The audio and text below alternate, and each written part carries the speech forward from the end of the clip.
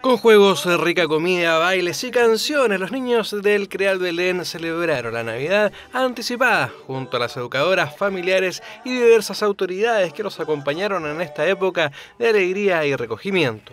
Como Servicio Nacional de Menores, nosotros estamos muy contentos de poder compartir la Navidad junto a nuestros niños, que son 28 niños del CREA Belén, junto a las autoridades y también a las familias, y también agradecer a usted los medios de comunicación que hoy día se hicieron presentes eh, para ver también lo positivo que tiene el Servicio Nacional de Menores. Hoy, eh, a través del Sename, eh, hemos querido acompañar a los niños del CREAD Belén, este centro de protección para aquellos que han tenido ciertos inconvenientes y no tanta fortuna, nosotros queremos darle una alegría en esta época navideña, que puedan compartir, comer algo rico, disfrutar de los juegos. Diversas autoridades estuvieron presentes durante la celebración, entre ellas Desarrollo Social y Junaeb, ambas trabajando estrechamente por el bienestar de los menores. Un primer piloto eh, nacional aquí en la Comuna Nueva Imperial, que es una oficina local de la niñez, que busca no solo ir a atender a los niños cuando ya son vulnerados, sino que reforzar todo lo que es prevención, el trabajo con familias y detectar los casos antes de que haya vulneración. Hemos implementado un plan piloto en esta región